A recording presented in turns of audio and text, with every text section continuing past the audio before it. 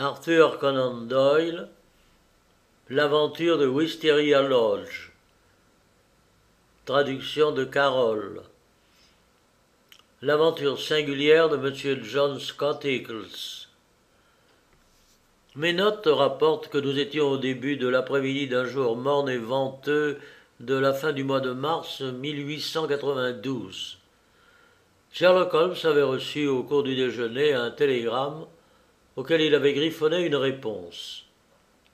Bien qu'il ne fît aucune allusion, je devinai que le télégramme et son contenu absorbaient toutes ses pensées.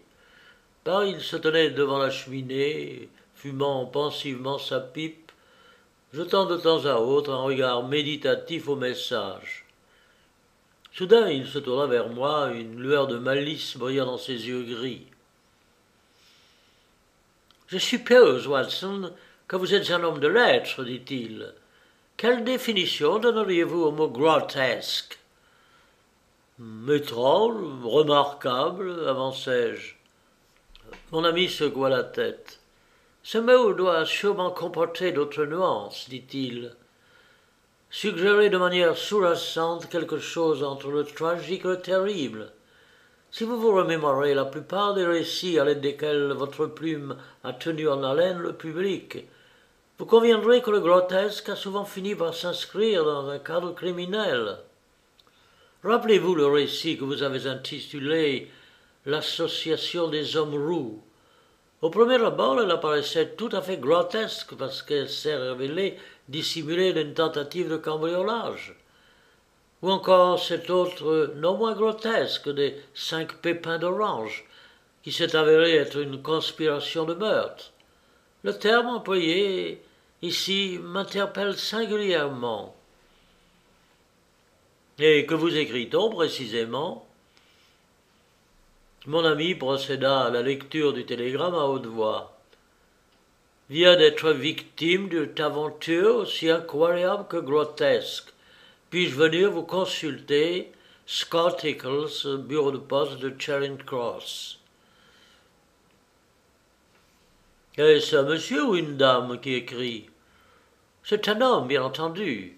Aucune femme n'aurait pris la peine d'adresser un télégramme avec réponse prépayée. Elle serait venue directement. Le recevrez-vous? Mon cher Watson, vous le voyez jour après jour languir d'ennui depuis que le colonel Carruthers a été arrêté. Vous le savez, mon activité cérébrale est telle qu'elle ne peut connaître de repos et en cas d'inactivité forcée prolongée, elle se grippe comme les rouages d'une machine qui s'abîmerait à ne pas procéder à l'assemblage des pièces pour lesquelles elle a été créée. Mes journées s'écoulent dans un calme déprimant. Les titres des journaux sont tout à fait anodins. Toute forme d'audace ou d'originalité semble jamais avoir déserté le milieu du crime londonien. Et vous me demandez si je suis prêt à recevoir cet homme, autrement dit, si je suis prêt à me retrouver confronté à une nouvelle affaire, quelque simpliste qu'elle puisse être, mais ah, si je ne me trompe, voici notre client. Un bruit de pas mesuré retentissait dans l'escalier. Quelques instants plus tard, un homme grand et corpulent, grisonnant, moustachu et l'air solennellement respectable, fit son entrée dans la pièce. L'histoire entière de sa vie était écrite dans ses traits lourds et ses manières pompeuses. De ses guêtres à sa monture d'or, tout en lui traduisait le conservateur, le pratiquant, le bon citoyen, orthodoxe et conventionnel au dernier degré. Mais une récente expérience devait avoir porté atteinte à son tempérament naturellement calme, et se décelait au premier regard, à la vue de ses cheveux en bataille, de ses joues rouges de colère, de ses gestes maladroits et vifs. Oh, il en vint immédiatement au fait. Je viens d'être victime d'une aventure depuis singulièrement déplaisante, monsieur Holmes, dit-il. Je n'ai jamais de ma vie été placé auparavant dans une situation semblable. Elle est inconvenante, proprement scandaleuse. J'exige une explication. Notre visiteur s'enflait et soufflait de colère. Asseyez-vous, je vous en prie, monsieur Scottles, dit Holmes d'un ton apaisant. Me permettez-vous en premier lieu de vous demander pour quelle raison vous avez choisi de vous adresser précisément à moi Eh bien, monsieur, cela ne m'apparaît pas être l'affaire de la police, et pourtant, lorsque vous aurez entendu les faits, vous ne pourrez manquer de convenir que je ne peux les passer sous silence. Euh, je n'éprouve ordinairement pour la corporation des détectives euh, aucune sympathie. Mais euh, je dois reconnaître que l'évocation de votre nom. Bien, et en second lieu, je voudrais connaître la raison pour laquelle vous avez pris la peine d'écrire et non de venir directement à moi. L'homme se consulta sa montre. Il est deux heures et quart, dit-il. Votre télégramme a été expédié aux environs d'une heure de l'après-midi.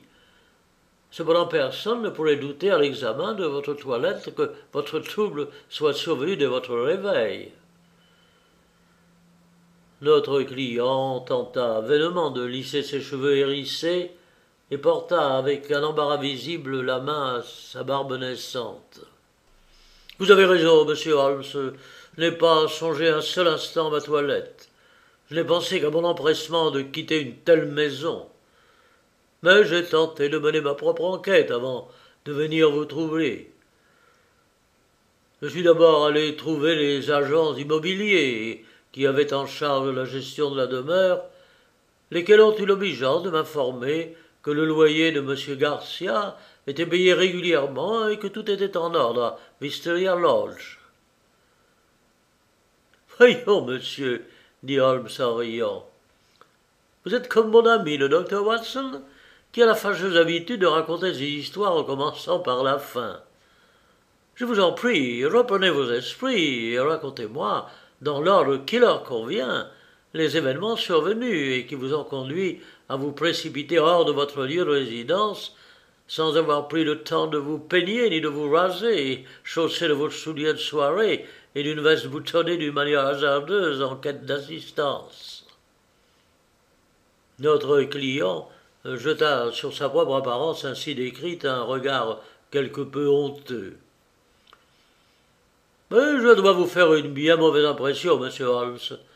À vrai dire, je n'ai pas souvenir euh, de m'être jamais présenté devant quelqu'un dans un tel état. Mais je vais vous raconter toute l'histoire, et vous conviendrez sans nul doute, lorsque j'aurai achevé mon récit, que j'avais de bonnes raisons de me présenter ainsi négligé devant vous. Mais notre visiteur ne put entamer son récit. Un tumulte confus retentit à cet instant dans l'escalier, et Mrs. Hudson introduisit dans la pièce deux robustes représentants officiels, dont l'un d'eux nous était bien connu.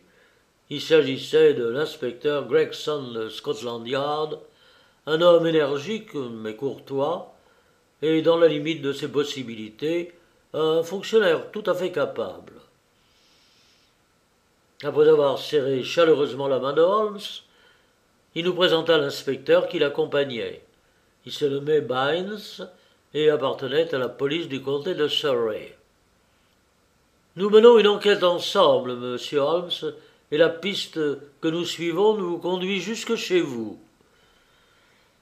L'inspecteur Gregson posa ses yeux langoureux sur notre visiteur.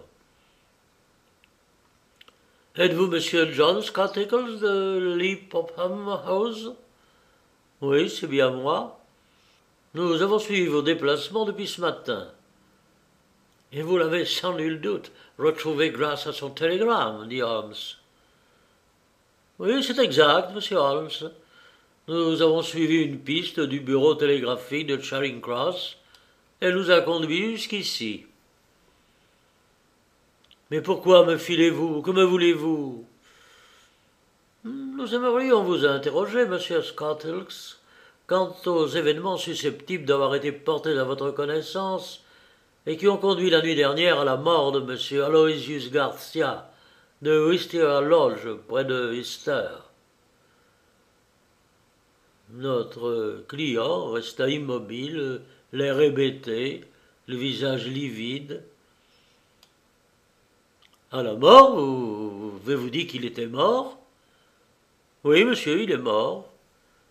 Mais comment Un accident? Oh non, un meurtre, à ce qu'il semble. Bonté divine, mais c'est affreux. Vous ne voulez pas dire, vous ne vous sous pas que je suis suspect. Une lettre de votre main a été retrouvée dans la poche du mort, qui indique que vous envisagiez de passer la nuit dernière dans sa demeure. Oui, c'est ce que j'ai fait. Oh, vraiment, vous avez passé la nuit là-bas. L'inspecteur se saisit de son crayon et ouvrit son calepin officiel. Attendez un instant, Gregson, interrompit Sherlock Holmes. Vous désirez obtenir un récit exhaustif des faits, n'est-ce pas? Oui, et il est de notre devoir d'avertir M. Scott Eccles qu'il pourra être utilisé et retenu contre lui. M. Scott Eccles était sur le point de nous faire le récit des événements dont il a pu être témoin quand vous êtes entré. Je suppose, Watson, que du brandy et de la limonade s'imposent. À présent, monsieur, je suggère que vous ne teniez pas compte de cette interruption dans notre entretien et que vous procédiez au récit des événements que vous nous apprêtiez à faire avant d'être interrompu. Quelques gorgées de brandy rendirent à notre visiteur ses couleurs. Non sans avoir jeté un regard inquiet au calepin que tenait toujours ouvert entre ses mains l'inspecteur, il commença son récit.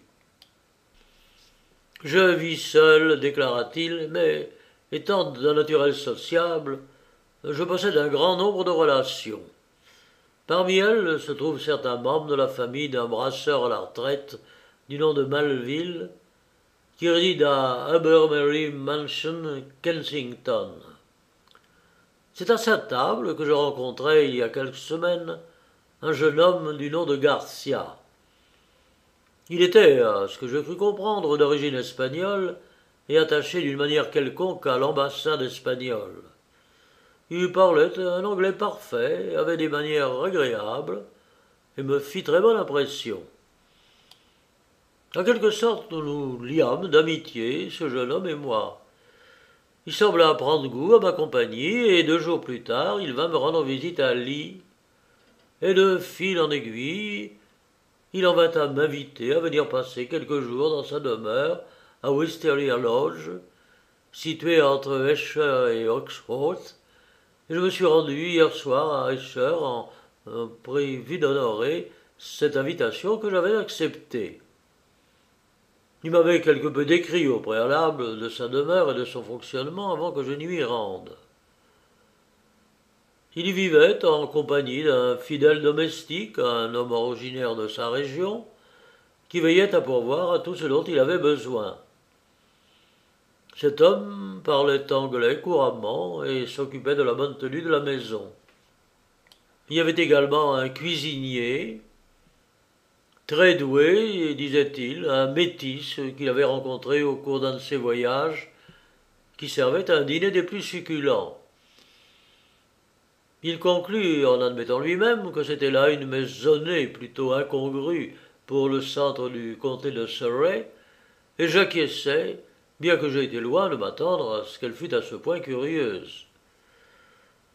Je me rendis là-bas. La demeure se trouvait à environ deux miles au sud de Esher. La demeure était de belle taille, s'érigeait en retrait de la route, au terme d'un étroit sentier serpentant entre des hauts arbustes à verdure permanente. Mais l'édifice était vieux et délabré, près de tomber en ruine. Lorsque le cabriolet s'arrêta devant les restes clairsemés d'une pelouse que l'on devait pourtant traverser pour toucher à une porte portant sur les marques du temps et des intempéries, je commençai à douter de mon propre discernement qui m'avait poussé à accepter l'invitation d'un homme que je connaissais si peu. Il ouvrit lui-même la porte et m'accueillit avec beaucoup de cordialité et d'enthousiasme. Je fus présenté et recommandé à un serviteur, un taciturne individu au teint très mat, qui me mena jusqu'à ma chambre après avoir pris le soin de me débarrasser de mes bagages. L'endroit tout entier était des plus déprimants. Notre dîner eut lieu en tête à tête, et bien que mon hôte fit de son mieux pour l'égayer et le rendre agréable, il semblait continuellement absorbé dans ses pensées, et il parlait d'une façon si distraite et absente que j'avais peine à le comprendre. Il ne cessait de tapoter des doigts sur la table et montrait quantité d'autres signes d'une même impatience. Le dîner en lui-même ne fut ni bien servi ni bon, et la présence continuelle du taciturne serviteur à nos côtés ne contribua pas à nous en faire profiter. Je puis vous assurer qu'il ne s'écoula pas une seule minute au cours de cette soirée, durant laquelle je ne déplorais pas de me trouver dans l'impossibilité de trouver une excuse plausible susceptible de me ramener sur le champ à lire. Une chose en particulier me revient en mémoire, qui pourrait être en rapport avec l'enquête de ces deux gentlemen ici présents. Je n'y prêtais aucune attention sur le moment. Alors que nous avions presque terminé de dîner, le serviteur se présenta avec une note. Je remarquai qu'après l'avoir lue, mon hôte se montra encore plus distant et distrait qu'auparavant. Il abandonna tout effort de conversation et s'assit, fumant une cigarette, après l'autre, perdu dans ses propres pensées, mais il ne fit aucune allusion au contenu de la note. Sur les coups de onze heures, je pus décemment aller me coucher et en fus soulagé. Après m'être couché et endormi, Garcia pénétra soudain dans ma chambre, alors plongée dans l'obscurité, il me demanda si j'avais sonné. Hmm, je répondis que non. Il me présenta ses excuses pour m'avoir réveillé et dérangé aussi tardivement, me précisant qu'il était près de une heure. Dès qu'il sortit à nouveau, je me rendormis d'un profond sommeil qui dura jusqu'au matin. J'en viens à présent à la partie la plus étonnante de mon récit. Il faisait grand jour lorsque je m'éveillai. Je consultai ma montre, il était près de neuf heures. J'avais expressément demandé à être réveillé à huit heures et fus donc très contrarié de cet oubli du serviteur et de son maître. Je sautai hors de mon lit et sonnai. Je n'obtins pas de réponse. Je sonnai encore et encore en vain. J'en vins donc à la conclusion que la sonnette devait être cassée. Je passai en hâte mes vêtements et me précipitai au bas des escaliers, dans une extrême mauvaise humeur, pour demander un verre d'eau. Bien jugé de ma surprise lorsque je ne trouvais personne. J'appelai, le hall tout entier résonna du son de ma propre voix, mais je n'obtins aucune réponse. Alors je courus de chambre en chambre. Tout était désert. Mon autre m'ayant indiqué quelle était sa chambre euh, la veille au soir, je m'en vins frapper à sa porte. Pas de réponse. Je tournai la poignée et entrai. La chambre était vide, le lit n'était pas défait. Il avait lui aussi disparu, l'hôte étranger, le serviteur étranger, le cuisinier étranger, tous s'étaient évanouis pendant la nuit. Ce constat mit un terme immédiat à ma visite à Ousteria Lodge. Sherlock Holmes se frottait les mains en riant, comptant sans doute déjà cet incident bizarre au nombre de ceux dont était constituée sa collection d'aventures grotesques qui lui avaient jusqu'à présent été rapportées. L'expérience que vous avez vécue est, d'aussi loin que je puisse en juger, absolument unique en son genre, dit-il. Puis-je me permettre de vous demander, monsieur, ce que vous avez fait ensuite? Ben, J'étais furieux. Ma première pensée fut que j'avais été la victime d'une absurde plaisanterie. Je rassemblai mes affaires, claquai furieusement la porte d'entrée derrière moi, et repris la route pour Escher, portant moi-même mon bagage. Je contactai l'agence Allen Brothers, euh, la plus importante agence immobilière du village, et il s'avéra que c'était par l'intermédiaire que la demeure avait été louée. Il me sembla qu'elle aurait été difficilement dans le seul but de me jouer un mauvais tour, car elle avait été louée et occupée de manière régulière. Le locataire devait avoir simplement choisi ce jour pour déménager sans laisser de traces, pour ne pas acquitter plus longtemps le montant de son loyer. Le mois de mars était déjà bien avancé. J'en déduisis donc que le locataire avait profité gracieusement de quelques jours d'hébergement supplémentaire. Mais cette théorie n'était pas plausible. L'agent immobilier, après m'avoir remercié de ma sollicitude, m'informa en effet que le loyer avait été réglé par avance. Alors, je repris le chemin de la ville et tentai de contacter l'ambassade espagnole. Le nom de mon hôte y était parfaitement inconnu. En dernier recours, je décidai de me rapprocher de Merville, dans la demeure duquel j'avais pour la première fois rencontré Garcia, mais je m'aperçus qu'il en savait encore moins que moi au sujet de son hôte. Enfin, lorsque je reçus votre réponse à mon télégramme, je me rendis chez vous, supposant que vous étiez le conseil le plus indiqué dans ce genre d'affaires. Mais à présent, monsieur l'inspecteur, je suppose, après vos déclarations effectuées à votre entrée dans la pièce, que vous pouvez compléter le récit de cette affaire et y apporter de nouveaux éléments tragiques. Je vous assure que chacun des mots que j'ai prononcés est la plus entière vérité, et que j'ignore tout du fatal dénouement de l'existence de cet homme. Mon seul désir est de vous aider à faire progresser l'enquête, d'aussi loin que je le pourrai. Oh, je ne doute pas que ce soit là votre plus ardent désir, monsieur Scott Eagles. N'en doute absolument pas, répondit l'inspecteur Gregson d'un ton des plus aimables. Je dois dire que vos dires sont en parfaite corrélation avec nos propres constatations. Mais reparlons de cette note adressée pendant le dîner. Auriez-vous par hasard pu observer ce qu'il en était advenu? Oui, parfaitement. Garcia l'a roulé en boule et jeté au feu. Mais que dites-vous de cela, monsieur Bynes? L'inspecteur du comté était un homme imposant, poussif et rougeau, dans le visage duquel s'apercevaient deux yeux d'un éclat extraordinaire, qui disparaissaient presque cependant entièrement dans les replis des joues et sous d'épais sourcils.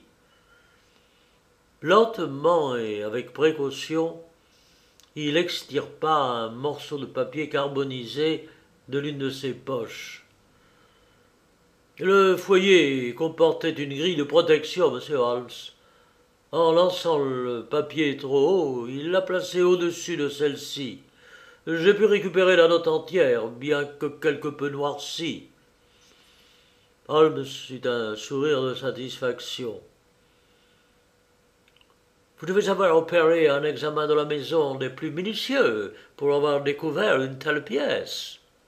En effet, oui, monsieur Holmes, c'est mon devoir. Dois-je procéder à sa lecture, monsieur Gregson? L'inspecteur londonien qui est ça? La note est rédigée sur du papier ordinaire de couleur crème, sans filigrane, d'une dimension originelle d'un quart de feuille. Celle-ci a été coupée en deux à l'aide de ciseaux courts. Elle a été pliée trois fois et scellée à l'aide d'une cire de couleur violet, apposée à la hâte et pressée à l'aide d'un objet de forme ovale.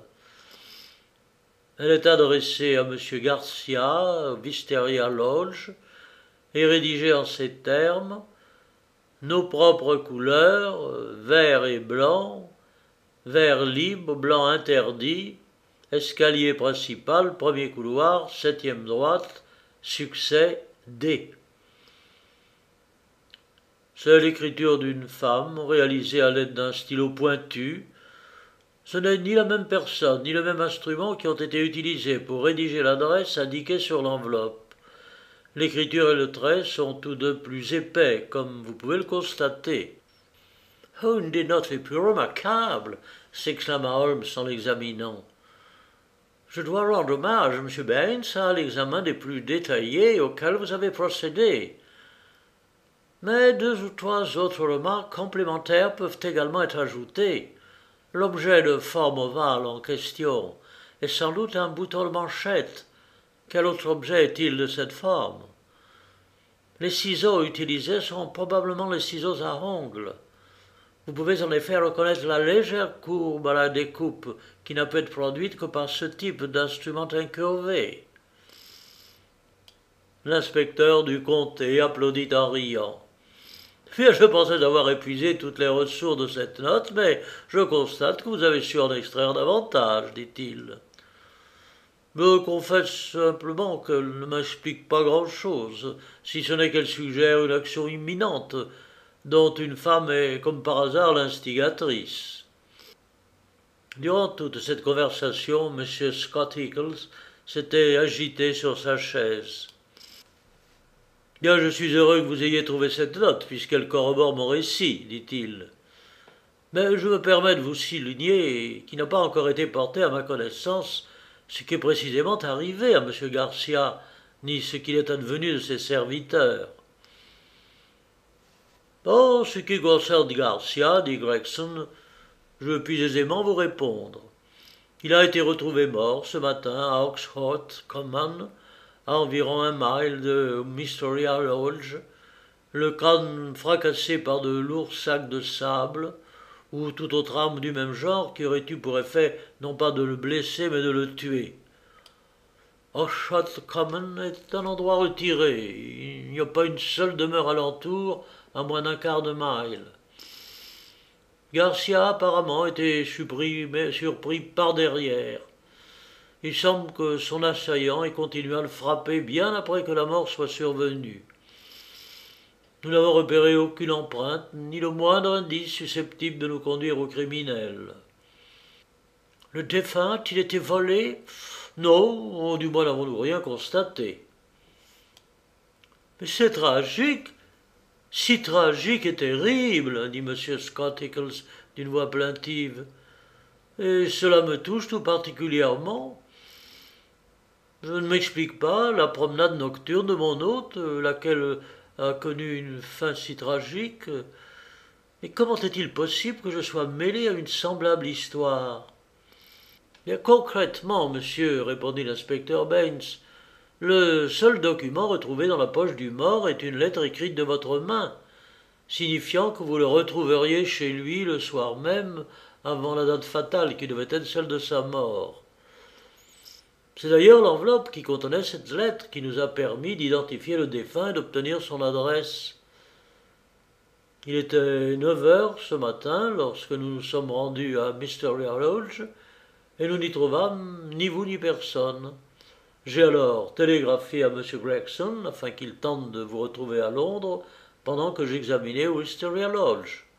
J'ai ensuite rejoint M. Gregson et nous voici. Il me semble, dit Gregson en se levant, que nous avons donné à notre enquête sa forme préalable et officielle. Vous allez nous suivre au poste de police, monsieur Scott Eccles, où nous procédons à l'enregistrement de votre déposition. Certainement, je suis tout à vous. Mais je souhaite retenir vos services, monsieur Holmes, et vous implore de ne pas épargner ni la moindre dépense, ni votre peine pour parvenir à la vérité. Mon ami se tourna vers l'inspecteur du comté. Je suppose que vous ne voyez aucun inconvénient à ce que je collabore avec vous, monsieur Baines. Mais j'en serais honoré, monsieur Holmes, bien certainement. Vous semblez avoir été des plus prompts et professionnels dans toute votre enquête menée jusqu'à présent. Avez-vous relevé, si vous me permettez de vous poser cette question, le moindre indice susceptible d'indiquer l'horaire exact de la mort de M. Garcia Il se trouvait là-bas depuis une heure du matin. Il en avait commencé à pleuvoir à ce moment et il semble qu'il soit mort avant que la pluie ne commence à tomber. Mais c'est absolument impossible, monsieur Baines, s'écria notre client. La voix de Garcia est inimitable. Je suis prêt à jurer que c'est bien lui qui s'est adressé à moi dans ma chambre à cette même heure. Hum, étrange coïncidence, mais cela ne signifie pas qu'elle est impossible, dit Holmes avec un sourire. Avez-vous une piste? demanda Gregson. Mais au premier abord, cette affaire n'est pas des plus complexes, bien qu'elle se présente de manière certaine d'intéressantes particularités. Une meilleure connaissance des faits m'est auparavant nécessaire avant de me hasarder à avancer une opinion définitive. À propos, monsieur Baines, n'auriez-vous pas, hormis cette note, bien sûr, relevé autre chose d'extraordinaire lorsque vous avez procédé à l'examen de la maison? L'inspecteur jeta à mon ami un regard étonné. Il y en avait en effet, dit-il, deux ou deux choses de plus remarquables. Peut-être lorsque j'aurai terminé ma mission au poste de police, consentirez-vous à m'y rejoindre afin que nous nous rendions ensemble à Wisteria Lodge et les soumettre à votre attention.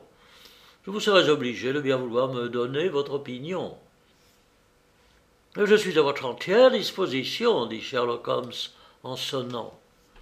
Veuillez reconduire cette gentleman, Mrs. Hudson, Ayez également l'obligeant de faire expédier ce télégramme.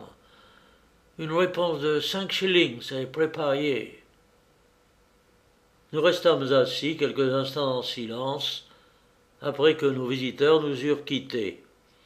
Holmes tirait consciencieusement sur sa pipe, les sourcils ramassés sur ses yeux vifs, le front penché vers l'avant dans une de ses attitudes caractéristiques. Eh bien, Watson, me demanda-t-il, s'adressant subitement à moi, qu'en pensez-vous? Je ne parviens pas à m'expliquer le pourquoi de cette mystification de M. Scott Hickles. Mais que pensez-vous du crime? Eh bien, en considérant la disparition subite des domestiques de l'homme, je ne peux pas m'empêcher de songer qu'ils étaient en quelque sorte liés au crime qui se préparait et qu'ils ont désiré se soustraire aux questions de la justice. Euh, c'est bien sûr une hypothèse plausible. Mais vous devez admettre cependant qu'il aurait été très étrange que ces deux serviteurs aient été de la conspiration et aient pourtant choisi de la mettre à exécution précisément la nuit durant laquelle il avait un invité chez lui. Mais dans ce cas-là, pourquoi se sont-ils évaporés? Ah, pourquoi se sont-ils évaporés? Hmm, C'est une excellente question. Une autre excellente question réside dans l'examen de l'aventure extraordinaire arrivée à notre client, M. Scott Eagles.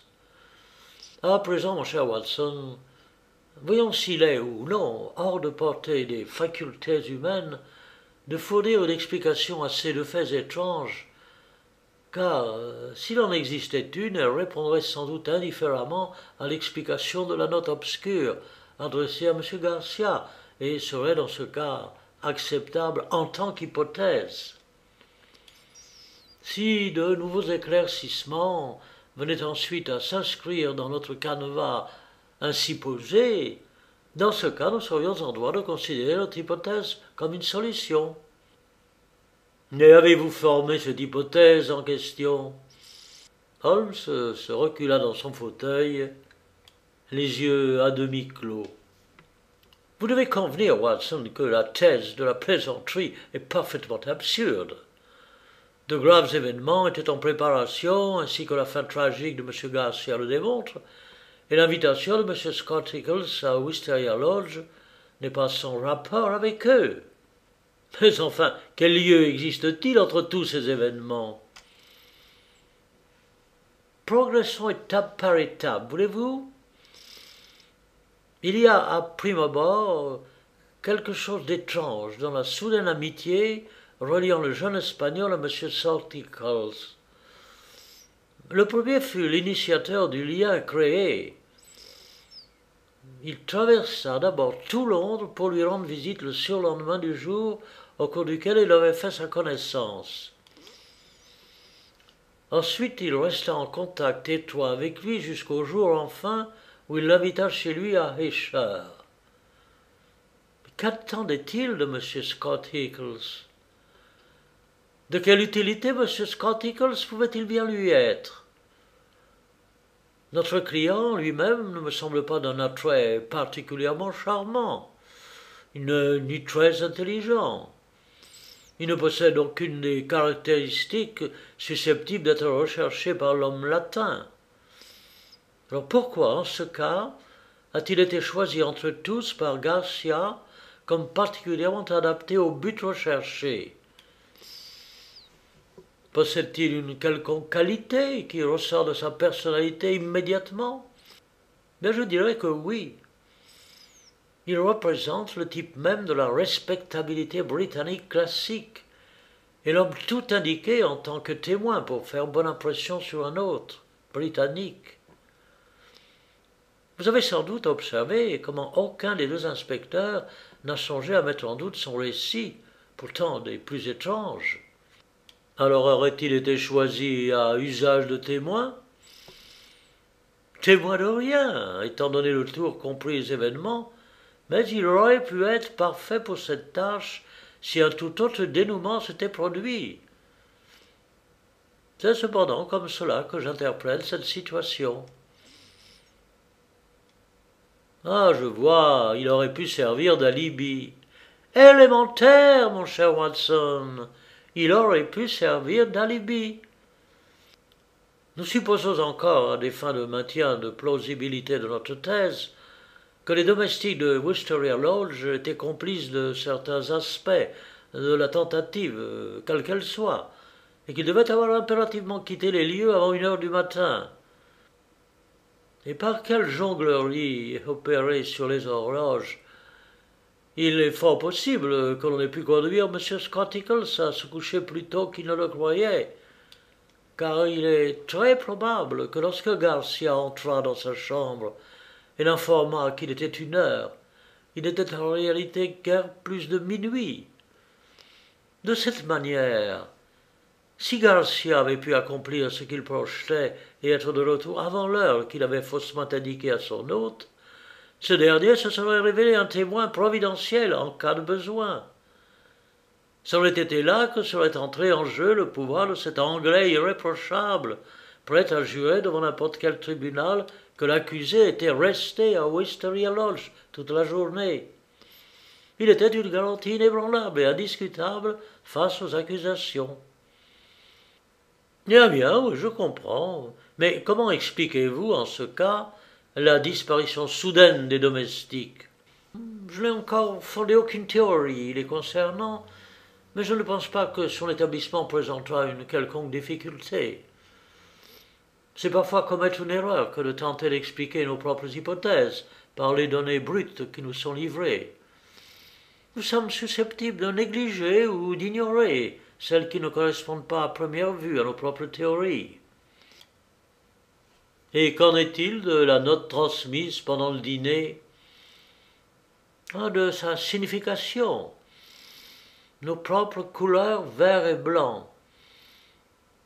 Cela évoque une action imminente. Vert libre, blanc interdit. Hmm, ceci indique très clairement un signal. Escalier principal, premier couloir, septième droite. C'est une description. Il se pourrait que nous trouvions un mari jaloux derrière toute cette affaire. C'était très certainement un rendez-vous dangereux. Elle n'aurait pas ajouté succès, sinon.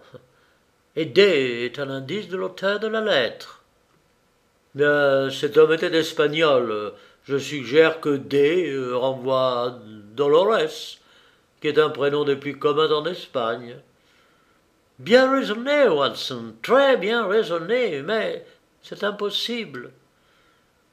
Une espagnole aurait écrit à un autre espagnol en langue espagnole.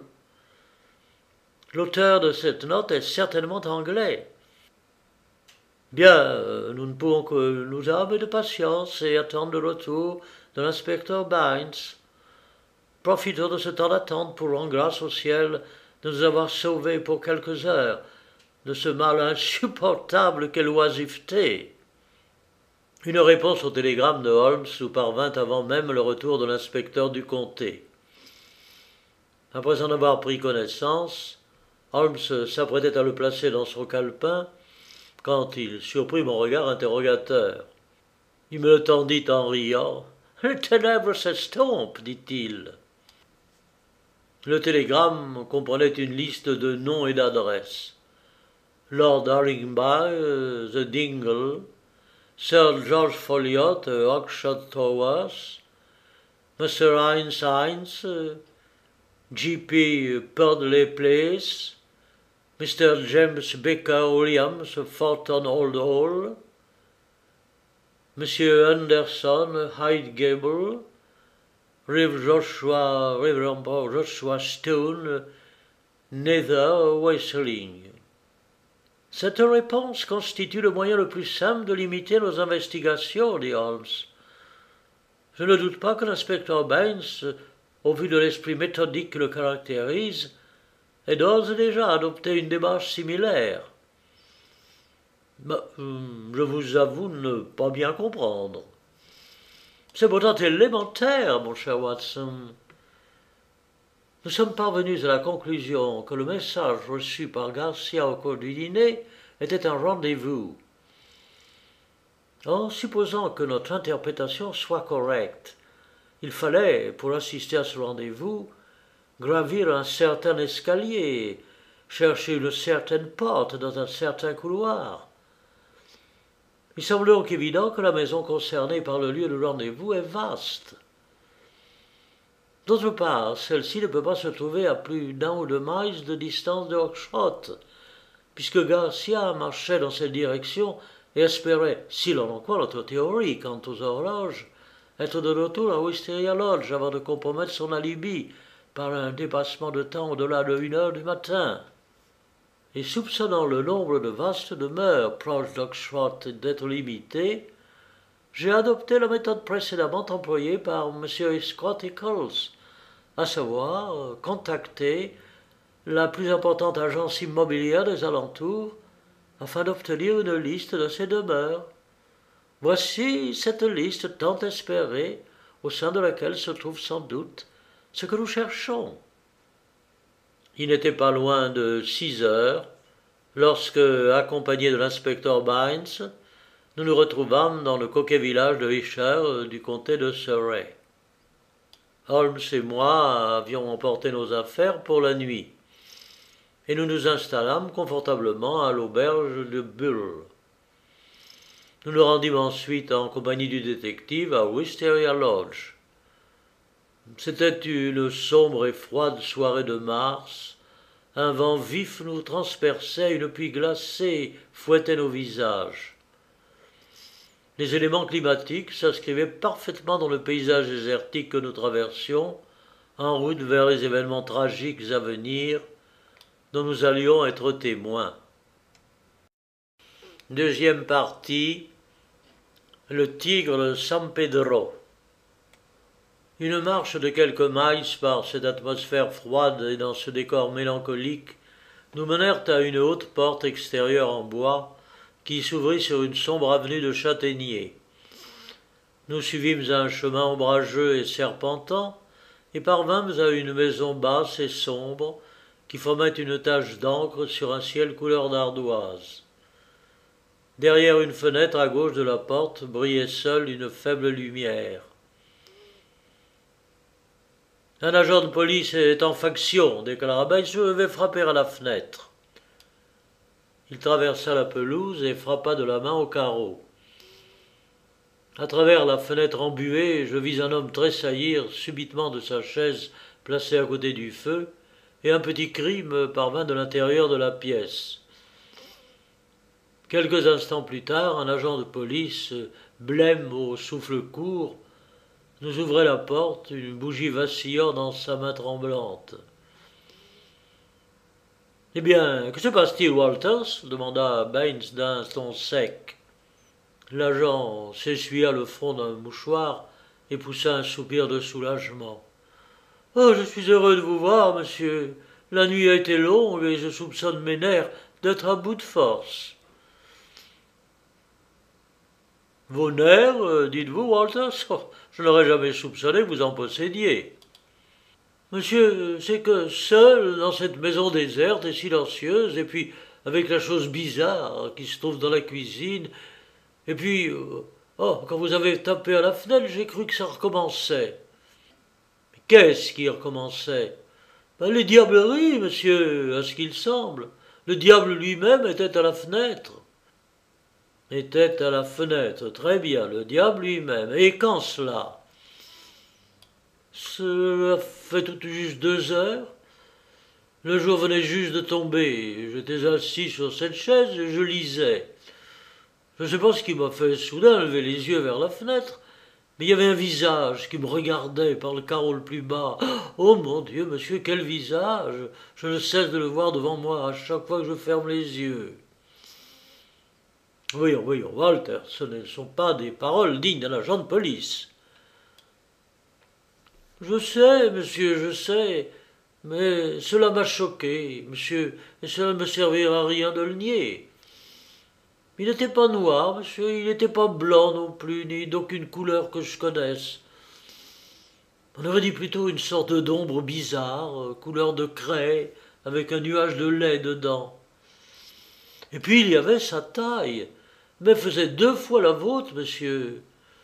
Et son regard, oh, deux yeux énormes, fixes, globuleux, et puis cette rangée de dents blanches digne d'une bête féroce affamée. Oh, je vous assure, monsieur, que j'ai pas pu bouger un orteil, ni même respirer avant qu'il eût disparu.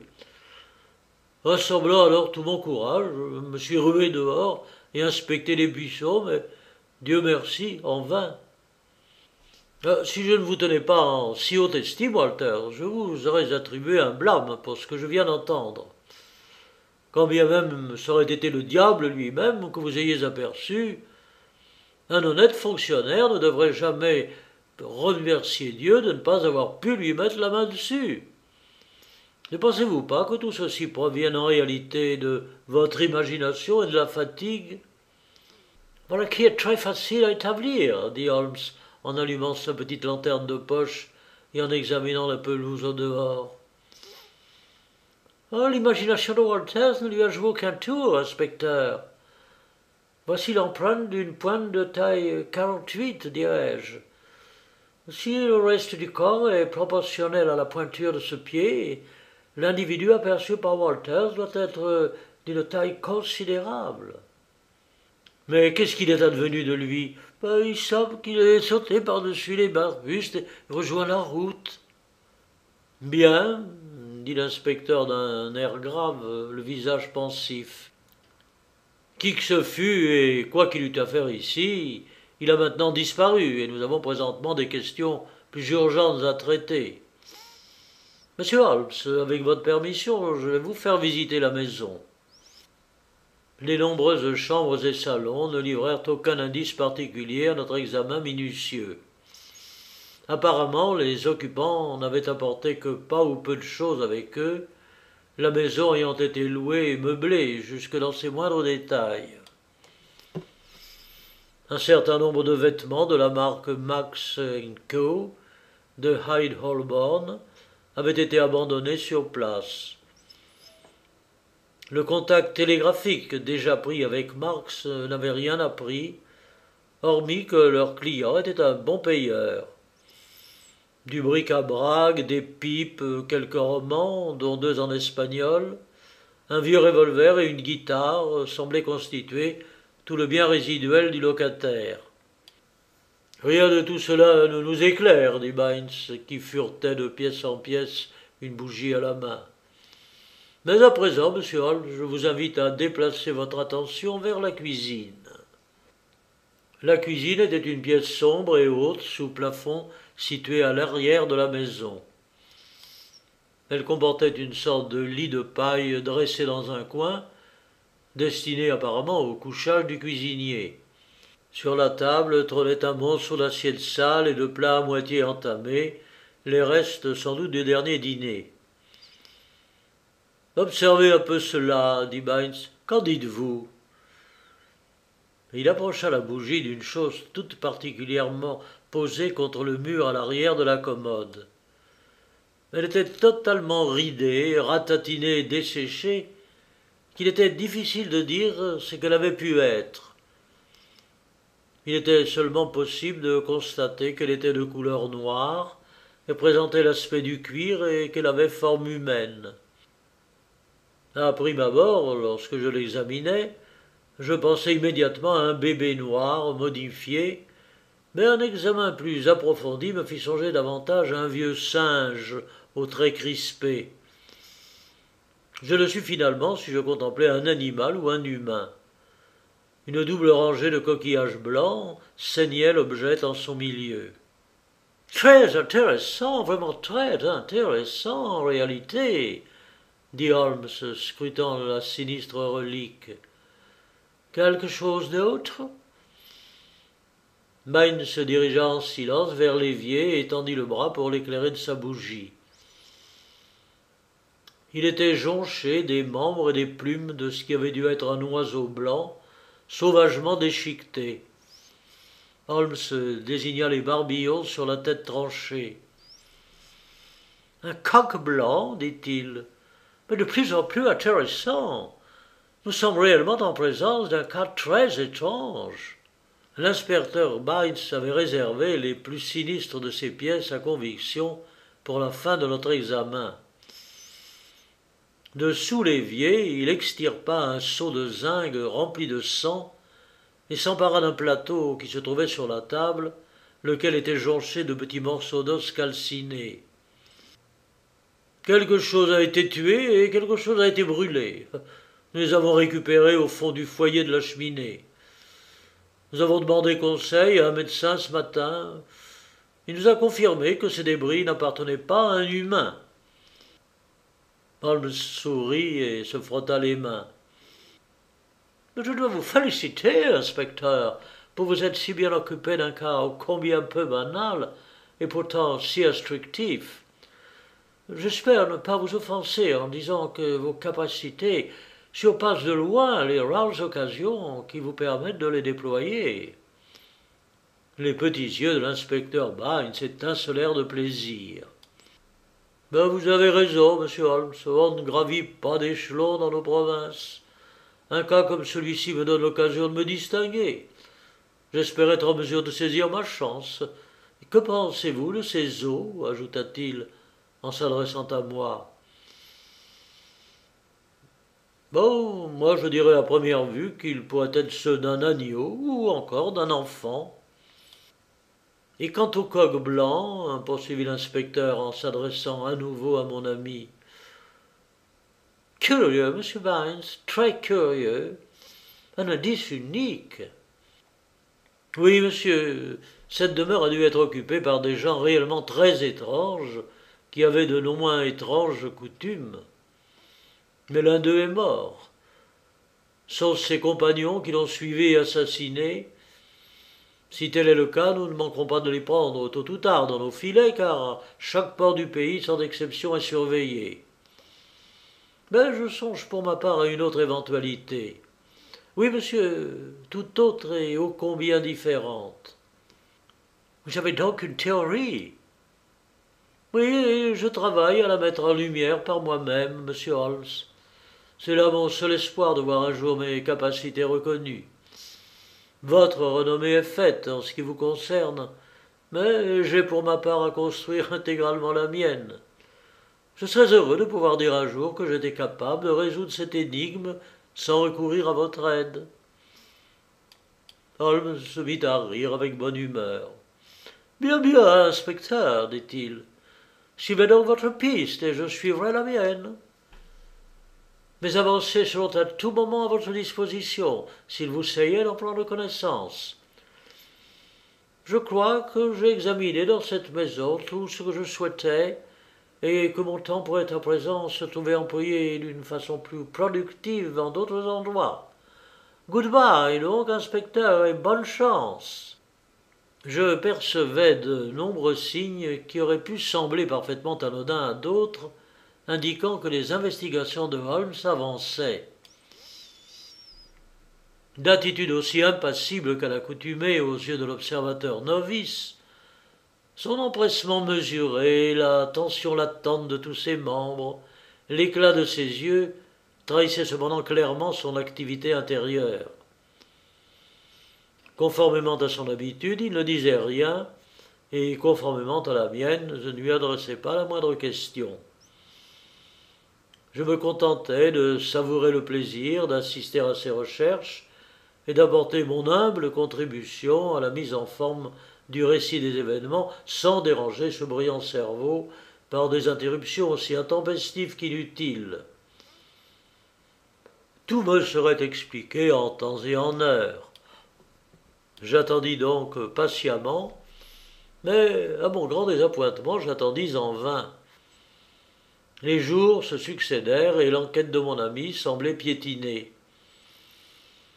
Il passa un jour, euh, une matinée entière en ville, et j'appris par la suite, euh, par euh, l'une de nos relations, qu'il s'était rendu au British Museum. À l'exception de cette seule excursion citadine, il dépensait ses journées en longues et fréquentes promenades solitaires, ou en bavardant avec quelques dames loquaces du village, dont il avait recherché et cultivé la compagnie. Je suis certain, Watson, qu'une semaine de repos à la campagne nous fera le plus grand bien, me dit-il un matin. C'est pour l'homme toujours aussi merveilleux de contempler l'apparition des premiers bourgeons sur les haies et les chatons fleurir sur les noisetiers. Je crois que nous pourrions, à l'aide d'un sac clois, d'une boîte en fer blanc et d'un ouvrage de botanique, profiter de moments fort instructifs au sein de cette nature. Muni de cet équipement précis dès le matin, il ne rapportait pourtant le soir de ses expéditions quotidiennes que quelques maigres et rares échantillons de plantes. Il nous arriva, au cours de l'une de nos rares promenades communes, de rencontrer l'inspecteur Bynes.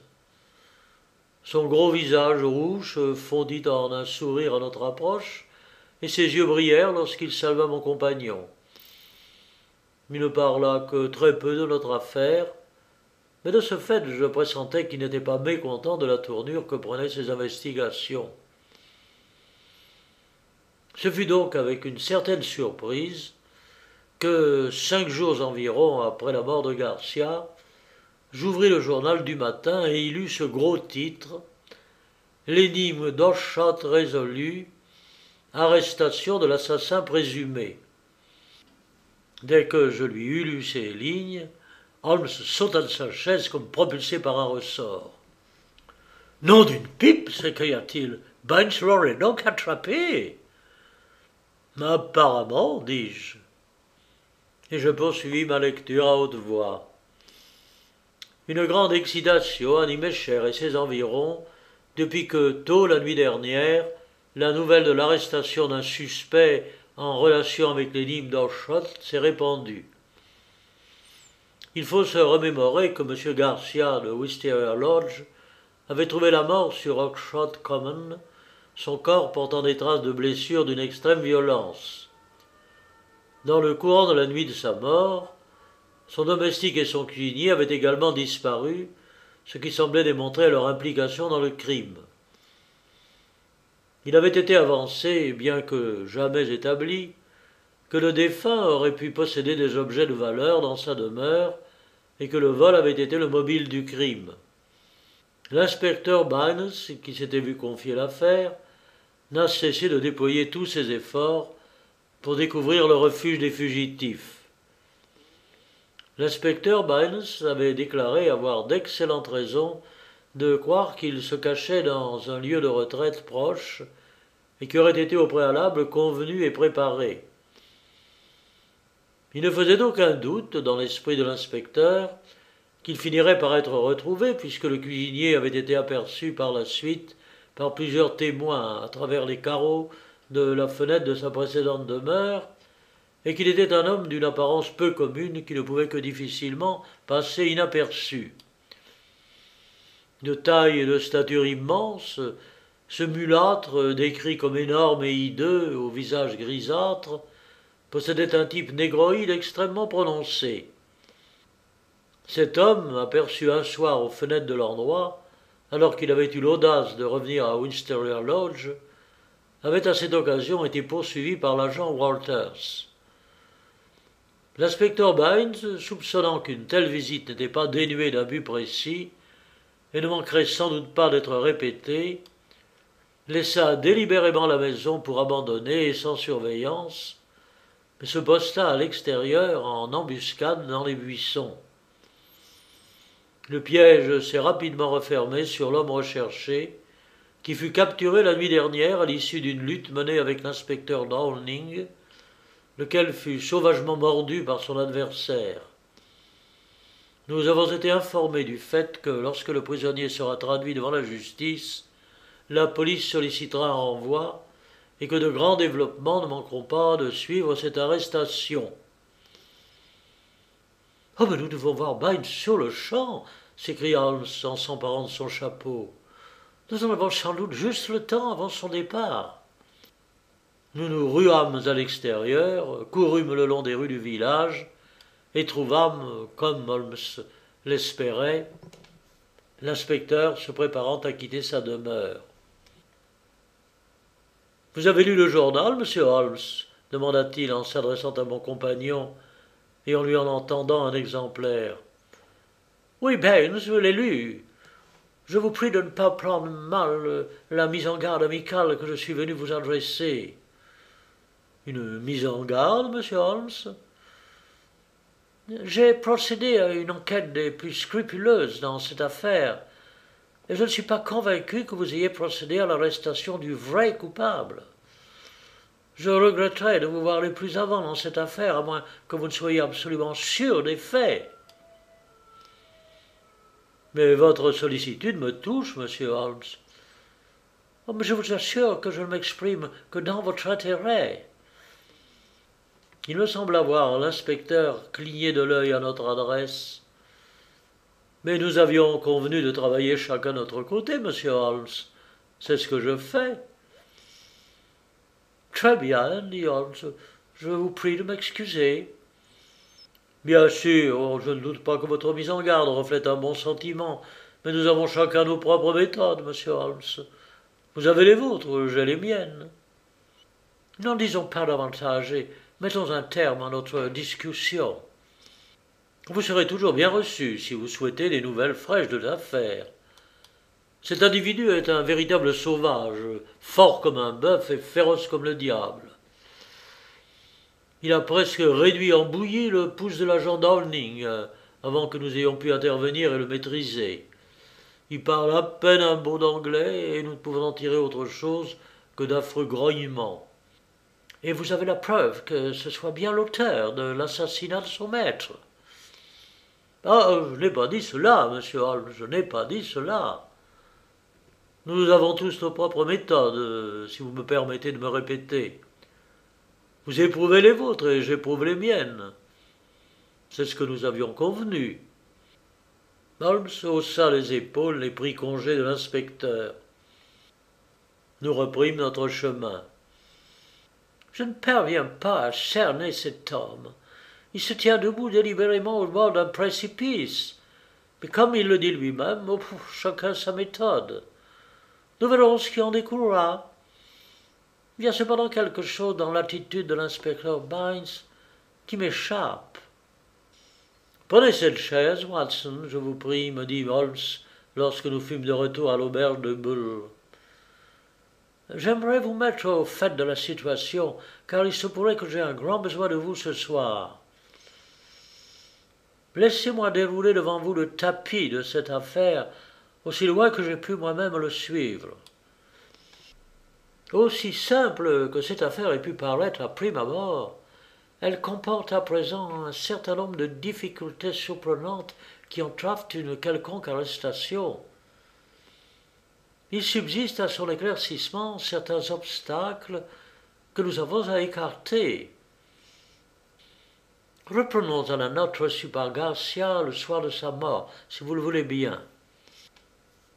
Nous pouvons mettre de l'ordre de côté l'idée de Bynes sur laquelle les domestiques de Garcia était directement impliqué dans le meurtre de leur maître, qui se préparait, preuve en est que ce fut Garcia lui-même qui organisa en sa demeure la présence de M. Scott Eccles, laquelle ne se justifie que par le désir de se forger un alibi. C'est donc Garcia qui, ayant des projets, et l'on peut supposer des projets criminels, est à l'origine du décor de cette nuit fatale au cours de laquelle il a trouvé la mort. J'emploie le mot criminel pour décrire ces projets, car seul un homme ayant formé ce type de projet aurait eu besoin de se forger un alibi? Qui, dans cette configuration, est donc la personne la plus susceptible d'avoir souhaité attenter à la vie de Garcia? Certainement la personne contre laquelle les projets criminels étaient dirigés.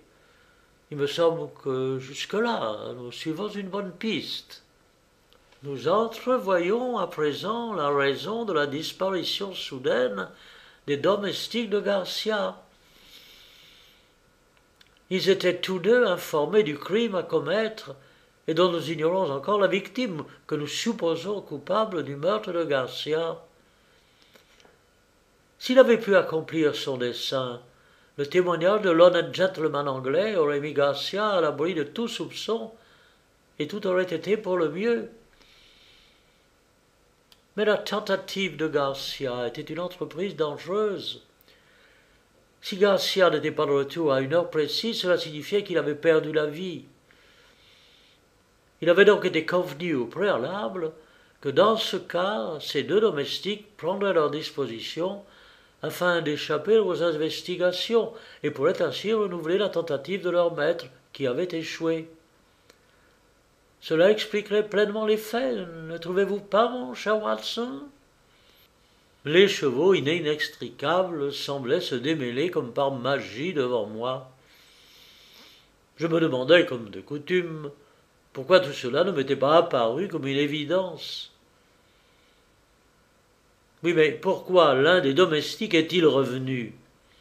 Nous pouvons supposer que, dans la confusion et l'empressement, il a laissé derrière lui une chose précieuse, une chose à laquelle il ne peut se résoudre d'être séparé. Cela expliquerait qu'il persiste autant à la récupérer, ne trouvez-vous pas? Oui, certainement. Bien, alors quelle est la prochaine étape? Le prochain éclaircissement consistera en celui de la note reçue par Garcia au dîner. Elle implique un autre complice à l'autre bout du fil de l'affaire. Mais où se trouve l'autre extrémité de ce fil? Je vous ai déjà montré qu'il ne pouvait mener qu'au sein d'une vaste demeure et que le nombre de celles-ci est limité aux alentours. Mes premiers jours dans ce village furent dédiés à une série de promenades au cours desquelles pendant les quelques intermèdes que m'octroyaient mes recherches botaniques, je me consacrais à une reconnaissance de toutes les demeures imposantes des environs, dont la liste m'avait été communiquée par télégramme, vous vous en souvenez, et à l'histoire de leurs occupants. Une maison et une seule retint mon attention. Il s'agit d'un célèbre manoir de l'époque de Jacques Ier, le manoir de High Gable, situé à un mile d'Oxford et à moins d'une demi-mile de la scène de la tragédie. Les autres demeures qui auraient pu être concernées semblent appartenir à des propriétaires ordinaires et respectables menant une vie tranquille. Même M. Henderson de Hyde Cable était sous tous les rapports un homme curieux auquel les aventures les plus extraordinaires étaient susceptibles d'arriver. Je concentrai donc toute mon attention sur lui-même et sa maisonnée. Oh, des personnes bien curieuses, Watson. Le maître sans conteste le plus curieux de tous. Je m'arrangeais pour le rencontrer sous un prétexte plausible, mais il me sembla lire dans ses yeux sombres et suspicieux, enfoncés dans leurs orbites, qu'il était au fait de la véritable raison de ma visite. C'est un homme âgé d'une cinquantaine d'années, musculeux, athlétique, aux cheveux d'un gris d'acier, aux épais sourcils noirs en broussailles, à la démarche, à la stature impériale, un homme aussi farouche que magistral en somme, qui dissimule sans doute derrière son visage impassible et hâlé un esprit des plus incandescents. Il est sans doute étranger, il aura vécu longtemps sous les tropiques, car il est comme brûlé et desséché en apparence, mais a conservé toute sa robustesse intérieure.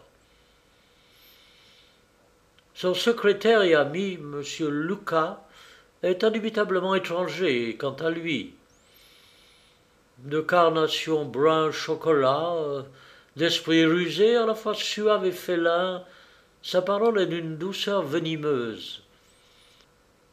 Alors vous constatez, Watson, que nous sommes parvenus à trouver deux maisonnées d'étrangers, la première à Wisteria Lodge, la seconde à Highgable. Un ras de lumière commence à se faufiler parmi les obstacles qui entravaient apparemment notre marche. Anderson et Lucas, amis proches et intimes, sont le centre de la maisonnée, mais une troisième personne est dans l'immédiat susceptible de retenir également toute notre attention. Henderson a deux enfants, deux filles respectivement âgées de treize et onze ans.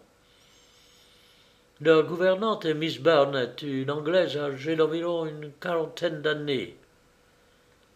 En plus d'un distrait serviteur, ce petit groupe forme l'essentiel de la famille car ces six personnes voyagent ensemble.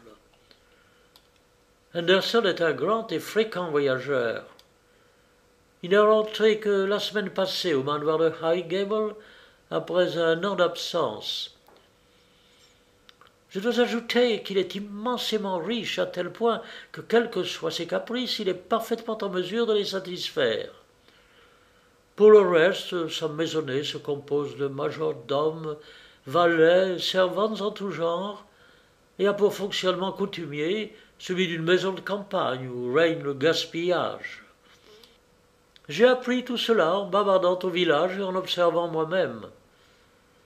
Il n'existe pas de source moins intarissable d'informations qu'un domestique remercié, et par chance j'en ai trouvé un. J'appelle cela de la chance, car il est certain que je n'en aurais pas trouvé un seul si j'en avais désespérément cherché un. Comme Biles l'a judicieusement fait remarquer, nous avons tous nos propres méthodes, et ce furent elles qui me conduisirent à croiser la route de John Warmer, le précédent jardinier de Highgable, remercié en moins de temps qu'il n'en faut pour le dire par son lunatique employeur Anderson. Warner avait parmi les domestiques des amis qui s'indignèrent et partagent son aversion pour leur maître. C'est ainsi que j'eus mes entrées dans la demeure et dans les faits gestes qui s'y déroulent. Oh, les gens bien curieux, Watson. Oh, je ne prétends pas tout comprendre encore, mais toujours est-il qu'ils sont très curieux. La demeure comporte deux ailes. Les domestiques occupent l'une, la famille, constituée du père, de son secrétaire, des deux enfants et de leurs deux domestiques attachés, l'autre. Il n'y a aucune communication entre les deux ailes, hormis celle opérée par la servante personnelle de Anderson, qui en charge le service des repas de famille. Tout est apporté devant une certaine porte qui forme le seul point de contact entre les deux maisonnées. La gouvernante et les enfants sortent à peine, hormis dans le jardin. Anderson ne sort jamais pour sa part seul sous aucun prétexte. Son sombre secrétaire le suit comme son ombre. Il se murmure parmi les domestiques que leur maître craint un terrible événement. Il a vendu son âme au diable pour de l'argent, m'a répété Warner et il s'attend à voir monter son créancier d'un jour à l'autre de l'enfer pour lui réclamer son dû. D'où ces gens viennent et qui ils sont, personne n'en a aucune idée. Anderson est d'un tempérament violent. Par deux fois, il a frappé un domestique avec un fouet à chien, et seule sa bourse généreuse et considérablement garnie lui a épargné d'avoir affronté les cours des tribunaux. À présent, Watson, considérons la situation de leur point de vue. nous pouvons supposer que la note émane de cette étrange maison et qu'elle était une invitation pour Garcia à tenter quelque chose qui avait été planifié. Et quel est l'auteur de la note? Une personne résidant dans la maison et une femme. Qui d'autre en ce cas si ce n'est Miss Burnett, la gouvernante? Tout notre raisonnement tend vers elle. Quoi qu'il en soit, nous devons considérer cela comme une simple hypothèse et envisager ses conséquences éventuelles.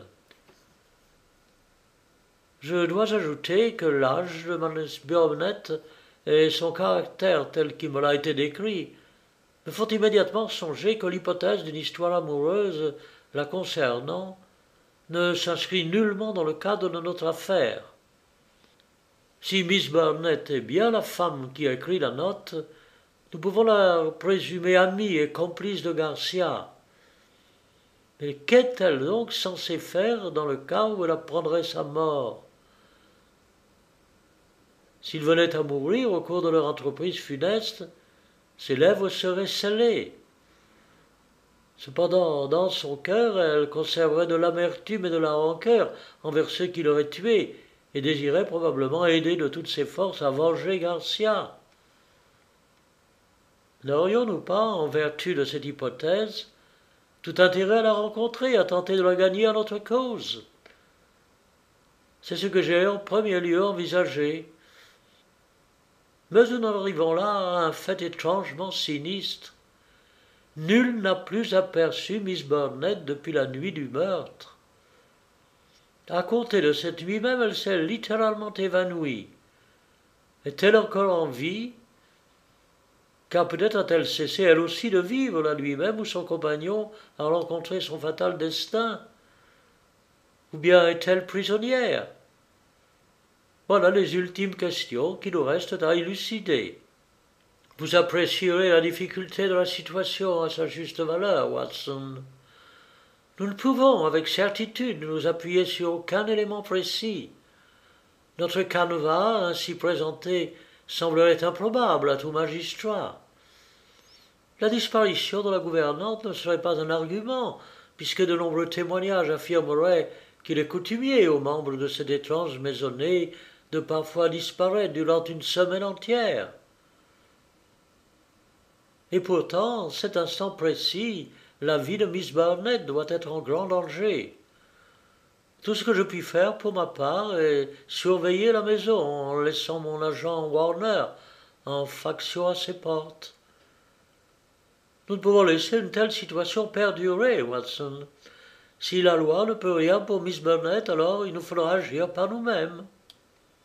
Et que suggérez-vous? Je sais quelle est sa chambre. Elle est accessible par le toit d'une dépendance. Je suggère que vous et moi nous rendions là-bas cette nuit et voyons si nous pouvons parvenir au dénouement du mystère. Ce n'était pas, je dois l'avouer, une perspective très séduisante. La vieille demeure, avec son atmosphère terrible, ses habitants singuliers et redoutables, les dangers qui vous guettaient à notre approche, et le fait que nous nous mettions nous-mêmes dans une position illégale, tout cela se combinait en un refroidissement sensible de mon ardeur. Mais quelque chose dans le raisonnement formel de Holmes m'interdisait de me dérober à une expédition qu'il préconisait. Il était évident que de cette manière et de cette manière seule, la solution à l'énigme serait apportée. Je serrai sa main en silence et notre accord fut scellé. Mais je ne m'attendais pas à ce que notre investigation connût un dénouement aussi précoce. Il était environ cinq heures et les ombres de la nuit de mars commençaient à envahir l'obscurité quand un individu surexcité se rua soudain dans notre pièce. Ils sont partis, monsieur Holmes. Ils ont pris le dernier train. La dame est arrivée à s'échapper et je l'ai amenée dans un fiacre jusqu'en bas. Excellent, Warner, s'écria Holmes en sautant sur ses pieds. Watson, le dénouement de notre affaire est proche. Dans un fiacre se tenait une femme accablée d'épuisement nerveux, la tête appuyée sur sa poitrine. Son visage émacié et aquilin portait les traces d'une tragédie récente. Lorsqu'elle tourna vers nous ses prunelles grises, ternes et pigmentées de taches sombres, je reconnus les signes d'une récente administration d'opium. Ben, j'ai surveillé la grille, comme vous me l'aviez demandé, monsieur Holmes, dit l'émissaire, qui n'était autre que le jardinier congédié. Et lorsque la carriole est sortie, je l'ai suivie jusqu'à la gare. La dame était aussi docile qu'une somnambule, mais quand ils ont essayé de la faire monter dans le train, elle est revenue à elle et elle s'est débattue. Ils ont tenté de la faire remonter dans la voiture, et c'est là qu'elle a réussi à s'échapper. Alors je l'ai interceptée, je l'ai fait monter dans un fiacre, et nous voilà. Oh, j'oublierai jamais la façon dont il nous a regardé passer à travers les vides du fiacre. Oh, quel visage, des yeux noirs, le diable en personne. Nous portâmes la gouvernante en haut des escaliers et l'allongeâmes sur un sofa. Quelques tasses du meilleur et plus fort café ne tardèrent pas à produire leur effet escompté en dissipant celui des drogues. Baynes avait été fait appeler par Holmes.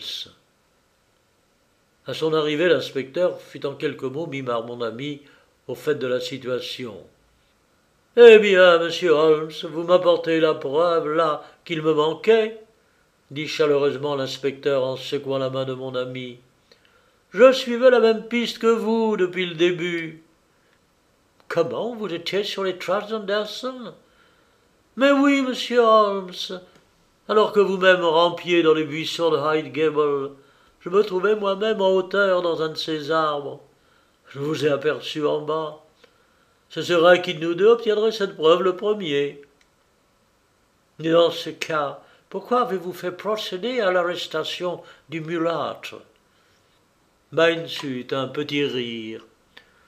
Ben, J'étais certain qu'Anderson, comme il se fait appeler, se sentant suspecté, resterait sagement chez lui sans bouger, jusqu'à ce qu'il juge tout danger écarté. Alors j'ai fait procéder à l'arrestation d'un autre pour lui faire penser que nous ne le soupçonnions pas. J'étais certain qu'il ne tarderait pas ensuite à repartir et nous offrirait ainsi une chance de mettre la main sur Miss Barnett. Holmes posa une main sur l'épaule de l'inspecteur. Vous irez loin, inspecteur. Vous êtes instinctif et intuitif, lui dit-il. Bynes rougit de plaisir.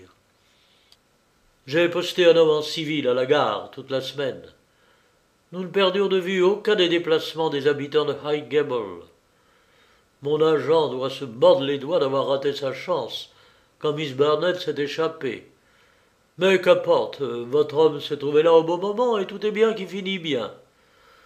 Nous n'aurions pas pu procéder à l'arrestation de Anderson sans le témoignage de Miss Barnett. Aussi, plus tôt entendons-nous celui-ci, mieux ce sera.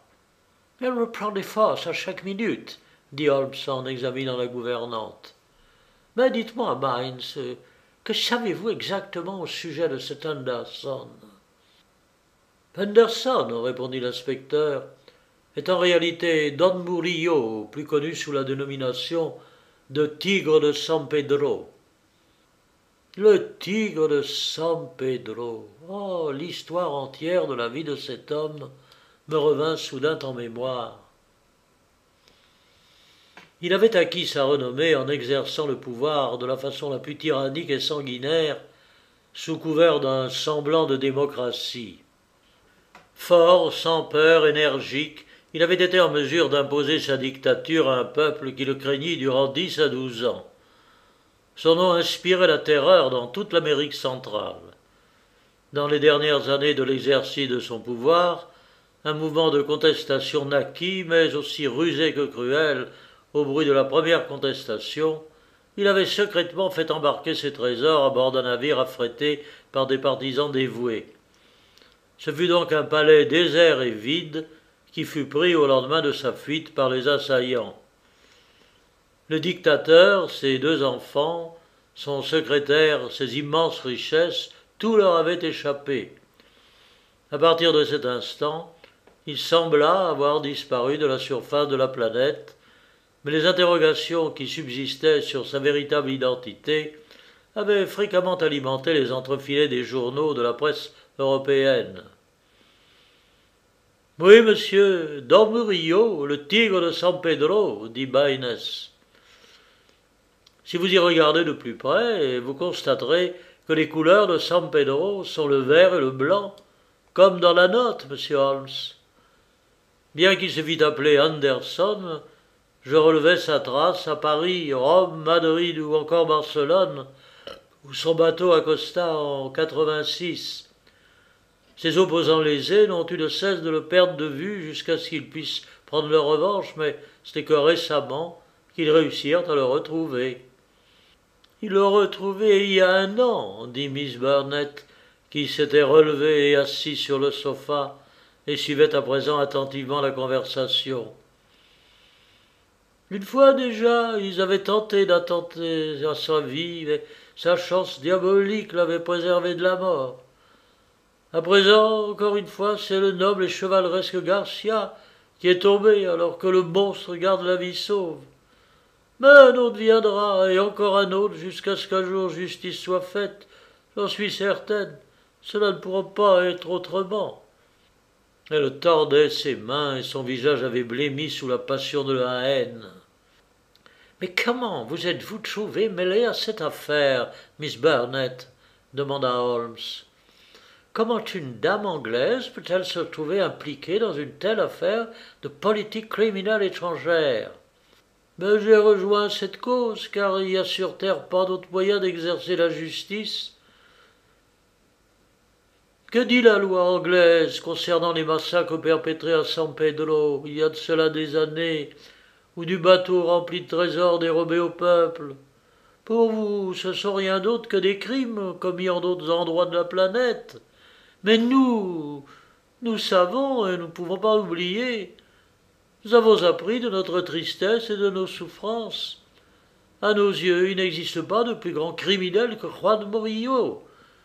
Il ne s'écoule sans doute pas un seul moment pendant lequel ses victimes ne réclament encore vengeance. Je n'en doute pas, dit Holmes, si l'on considère les faits ainsi que vous les rapportez. J'ai entendu dire qu'il avait commis des atrocités, mais en quoi êtes-vous personnellement concerné?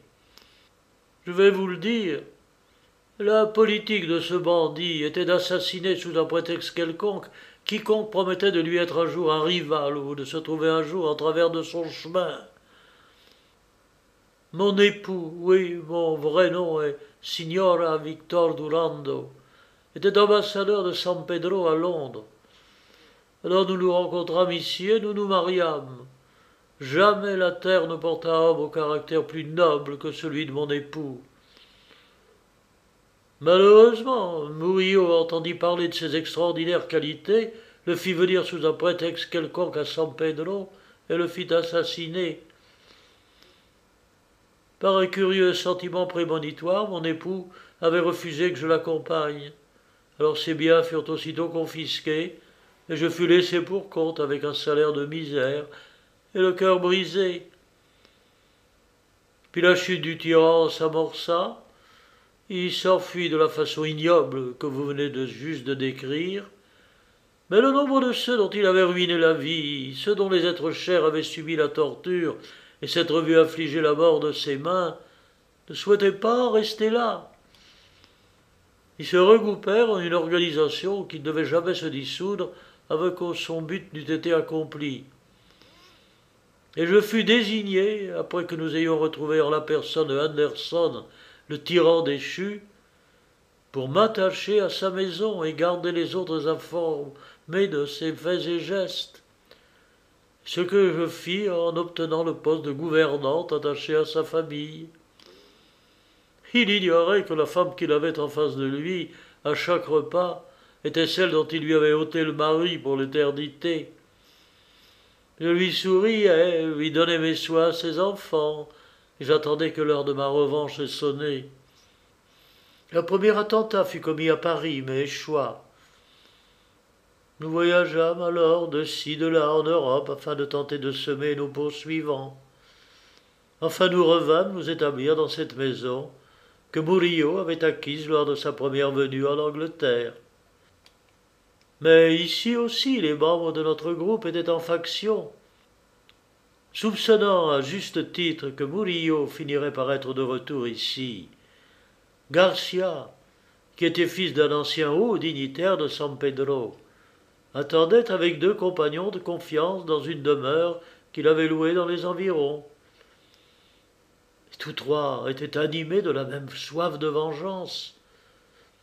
Garcia ne pouvait pas faire grand-chose durant le jour, car Murillo prenait toutes les précautions et ne sortait jamais sans son satellite Luca ou Lopez de son vrai nom lors de ses anciennes et tristes heures de gloire. La nuit, cependant, Murillo dormait seul et se trouvait ainsi en position d'être atteint et frappé. Alors par un certain soir, dont la date avait été convenue par avance, J'envoyai mes dernières instructions à mon allié Garcia, car Murillo, sans cesse sur le qui-vive, changeait chaque soir de chambre. Je devais veiller ce soir-là afin de faciliter la maison de Garcia, à ce que les portes restent ouvertes et à apposer le signal d'une lumière verte ou blanche derrière une fenêtre faisant face à la route afin d'informer si la voie était libre ou non. Mais les choses ne se passèrent pas comme je l'avais prévu. Je ne sais pas comment, mais je dus d'une manière quelconque éveiller les soupçons de Lopez, le secrétaire. S'étant glissé silencieusement derrière moi sans que je m'en aperçoive, il m'a sauté dessus quand j'eus terminé de rédiger la note. Lui et son maître me traînèrent alors à ma chambre et me traitèrent de la façon dont ils avaient coutume de traiter ceux qui les trahissaient. Oh, ils envisagèrent certainement de me tuer, mais ils n'auraient dans ce cas difficilement pu échapper aux conséquences de leurs actes. Finalement, après en avoir débattu, ils convinrent que m'assassiner était trop dangereux. Mais ils se décidèrent à se débarrasser de Garcia. Il m'avait ligoté et Murillo me tordit le bras jusqu'à ce que je leur eusse donné l'adresse de mon complice. Je jure que si j'avais su que cela conduirait Garcia à la mort, ils auraient pu continuer jusqu'à me l'arracher du corps, mais je leur avais pas donné l'information qu'ils cherchaient. Alors Lopez apposa l'adresse que je venais de lire livrée sur une enveloppe, la scella de son bouton de manchette et la fit porter par notre serviteur José. Comment ont-ils assassiné Garcia? Je l'ignore, mais je sais que ce fut la main de Murillo qui le frappa car Lopez était resté avec moi dans ma chambre pour me surveiller. Je suppose qu'il a dû se contenter d'attendre de le voir passer et qu'il l'a frappé lorsque Garcia l'eut dépassé. Au début, Lopez et Murillo avaient envisagé de laisser Garcia pénétrer dans la maison, puis le tuer en prétextant l'avoir pris pour un voleur.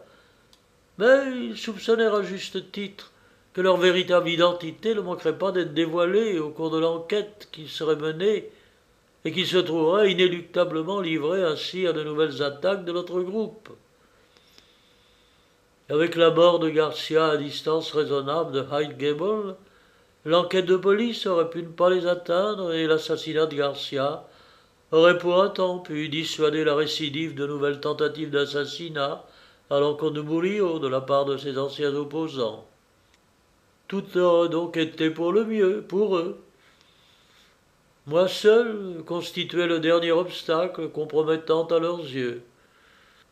Oh, je ne doute pas que ma vie fut régulièrement mise en balance. Ils me laissèrent enfermer dans ma chambre, me terrorisant par leurs menaces et m'infligeant des tortures terribles, cruelles et à des fins de me rendre folle. Jugez de ces traces de coups encore visibles sur mes épaules et ces contusions que portent encore mes bras. J'eus le malheur de tenter d'appeler du secours par la fenêtre. Un baillon fut immédiatement apposé sur ma bouche. Et cette détention cruelle se perpétua durant cinq jours. On me donnait juste assez de nourriture pour que mon âme ne se détachât pas de mon corps. Cet après-midi, enfin, on m'apporta un dîner plus copieux mais à peine j'avalais que je sus que l'on m'avait drogué. Je me rappelle comme dans un rêve avoir été emmenée et portée dans une carriole. Je fus ensuite conduite dans un train, et c'est seulement lorsque les roues du train se mirent en marche que je repris subitement mes esprits et réalisai que ma liberté tenait tout entière entre mes mains. Alors je tentai de m'enfuir, ils tentèrent de me rattraper, et sans l'aide de ce brave homme qui m'a fait monter dans un fiacre, j'aurais jamais pu m'évader. Mais à présent, Dieu merci, je suis loin d'eux pour toujours. Nous avions tous passionnément écouté ce remarquable récit. Ce fut Holmes qui le premier reprit la parole. Nous ne sommes pas au bout de nos peines, remarqua-t-il en secouant la tête. Le travail de la police s'arrête ici, mais le nôtre commence. Exactement, acquiesçai-je. Un bon avocat pourrait en faire un acte de légitime défense. Il peut y avoir des centaines d'autres meurtres commis avant. Seul celui-ci sera jugé. Allons, allons, dit Bynes d'un ton confiant. J'ai en la justice meilleure opinion. La légitime défense est une chose. L'assassinat d'un homme de sang-froid avec préméditation en est une autre, quel que soit le danger qu'on ait pu craindre de sa part. Non, non, non, justice sera faite. Nous retrouverons ces habitants de Highgable aux prochaines assises de Guildford. La marche du temps et de l'histoire est telle qu'il s'écoula encore un certain temps avant que le tigre de San Pedro ne réponde de ses crimes. Hardis et rusés, lui et son compagnon semèrent leurs poursuivants en entrant dans une maison meublée d'Anmond Street et en ressortant par l'arrière sur Curzon Square. À compter de ce jour, ils ne furent plus aperçus sur le sol d'Angleterre. Quelques six mois après, le marquis de Montalva et signor Rulli, son secrétaire, furent tous deux retrouvés assassinés dans leur chambre d'hôtel à l'Escurial de Madrid. Le crime fut attribué aux nihilistes et les auteurs du meurtre ne furent pas arrêtés. L'inspecteur Bynes nous rendit un jour visite à Baker Street, muni de deux portraits robots, le premier représentant le sombre visage du secrétaire, le second celui de son terrible maître aux yeux noirs magnétiques et aux sourcils touffus et en broussailles. Justice était enfin venue. Une affaire bien chaotique, mon cher Watson, dit Holmes en fumant sa pipe du soir. Il vous sera sans doute impossible de la présenter dans la forme habituelle, concise, que vous privilégiez. Elle couvre en effet deux continents, concerne deux groupes d'individus mystérieux et délicatement compliqués par la présence de notre ami hautement respectable, Scott Hickles, dont l'inclusion ne manque pas de prouver l'esprit intrigant et l'instant très développé d'autopréservation du défunt Garcia.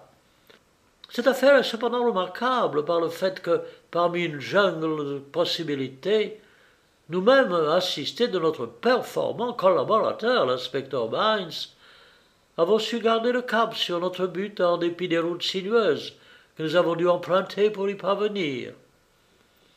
Subsiste-t-il encore des éléments qui ne soient pas clairs pour vous, Watson? Mais la raison du retour du mulâtre. Je soupçonne l'étrange créature de la commode de la cuisine d'en être la raison. L'homme était un primitif des forêts de San Pedro, et ceci était son fétiche.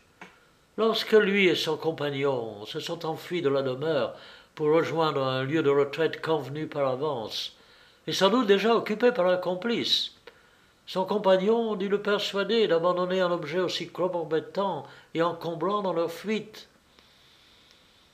Mais le cœur du mulâtre ne put s'y résigner.